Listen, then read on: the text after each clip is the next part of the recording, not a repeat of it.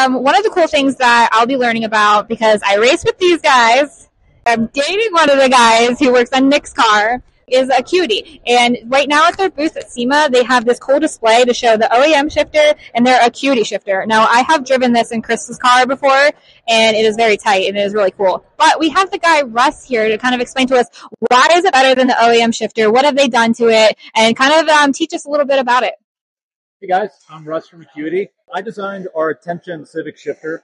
It's got a lot of upgrades over OEM.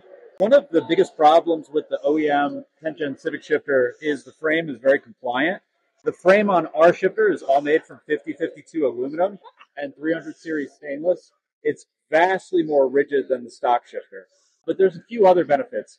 The gate spacing, so that's the lateral motion left to right of your shifter, is adjustable. Um, Oh, so yeah. you can have narrow gates, you can have slightly wider gates depending on your preference. Same thing goes for the throw. That's the uh, fore and aft movement of the shifter when you're putting it into gear. You've got about, I think, a 30% range of adjustment, maybe 40%, I don't recall exactly, for this shifter. And so you can fine tune the gear throw and the gate spacing.